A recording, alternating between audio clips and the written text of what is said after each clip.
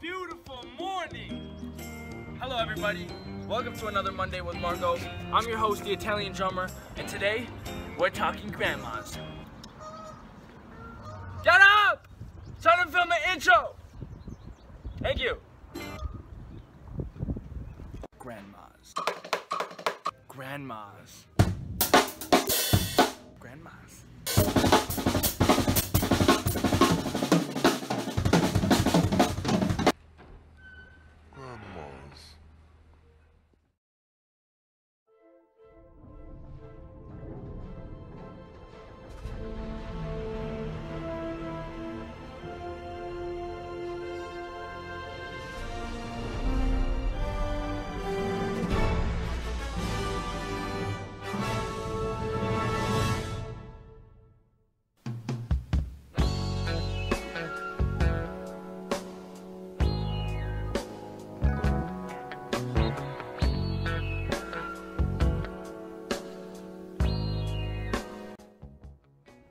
Grandmas, everybody's favorite people, and now it could be your favorite rudiment.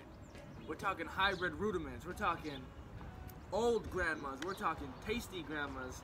We're we're talking some grandmas, okay? And I know what you're thinking already, but grandmas sound like a lame rudiment. Once you understand this rudiment and apply it to your drum set playing, you're going to another level, my friend. This is an essential hybrid rudiment. Let's go explore the grandmas. Let's go explore the grandmas! I need my camera though. Grandmas.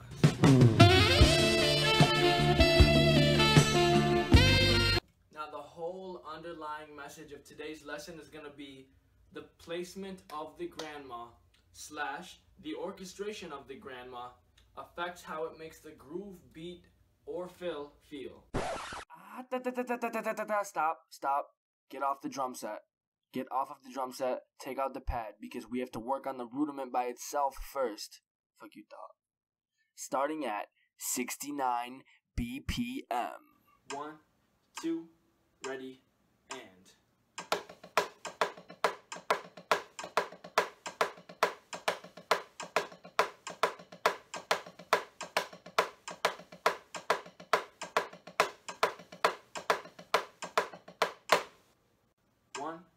Two, ready, and.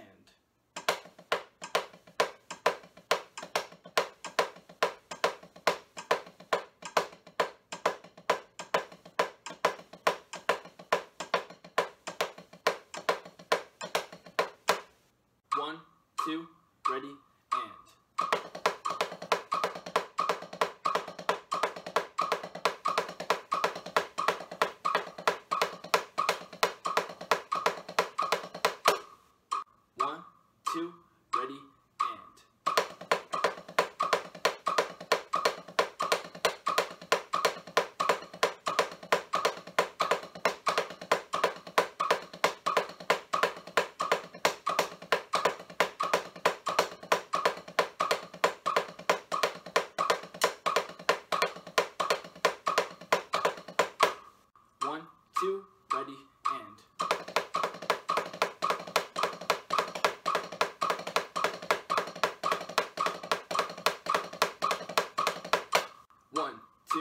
ready, and.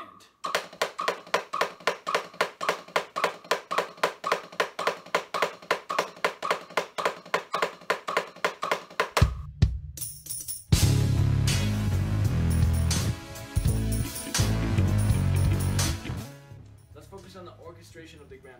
So, I'm gonna place it on the same spot each time, which will be on the one, but there will be two variations of this. Variation one is the first left hand being on the hi-hat.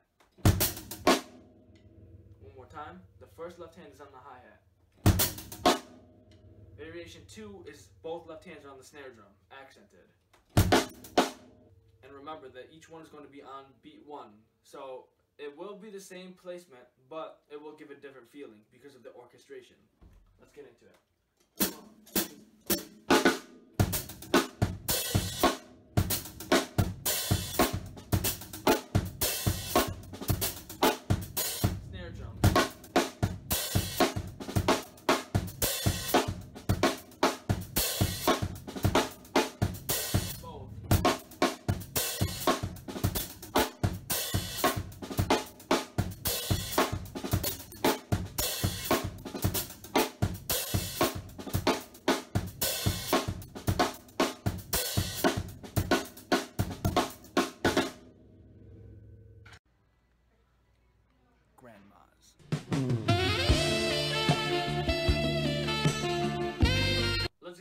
Grandma in a faster groove context. So what we're gonna do is on every second bar on one, I'm gonna do a.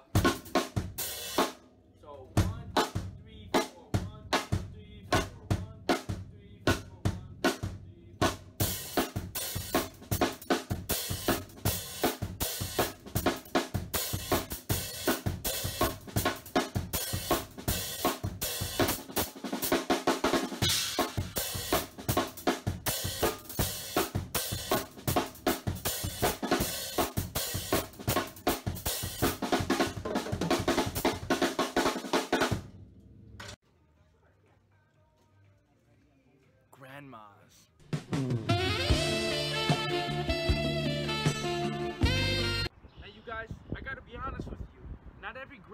walk up steps, but we can when we're placing it in a groove.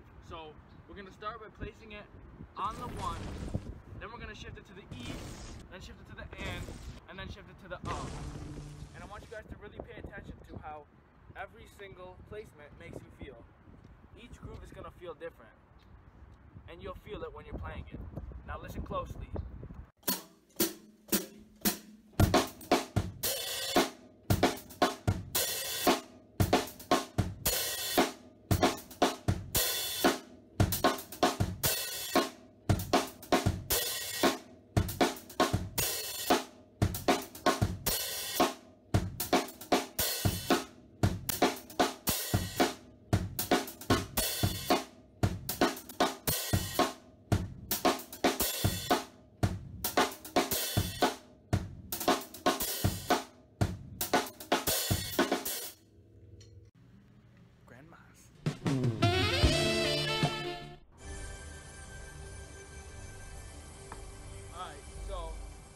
Got out of training.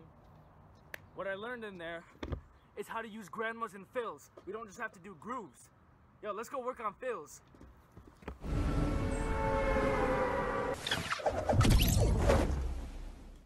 Now the cool part about grandmas is that you can use them in both fills and in grooves. So let me show you right here how to throw it into grooves as fills and as fillers and using different placement. So I'm gonna begin with just a basic, I'm gonna start on the fourth measure, that's where it will be. Then from then on out, it's gonna be placed in different random spots. It's gonna give it different feelings of anticipation or delay. So let's begin.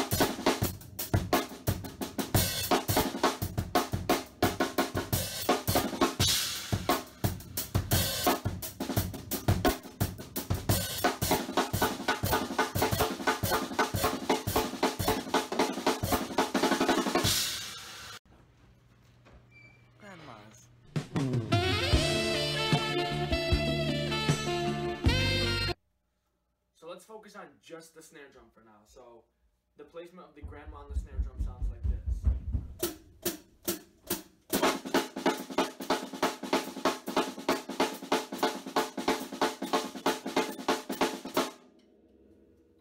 Now, what you could do with that is add bass drums or kick drums to the right hand. Every single right hand has a kick drum now, okay?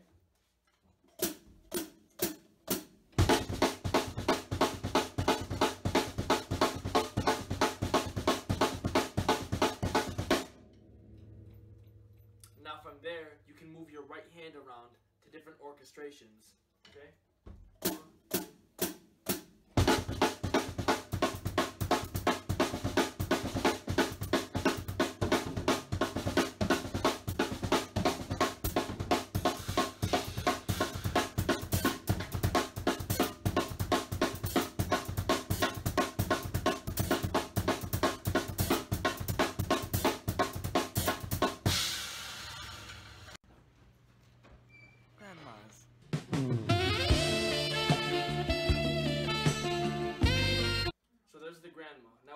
you to do is go explore it. Grooves, fills, chops, different contexts, different placement, different orchestration, different anything. Go train with it. Go explore. And make up your own phrases. Make up your own voice with it.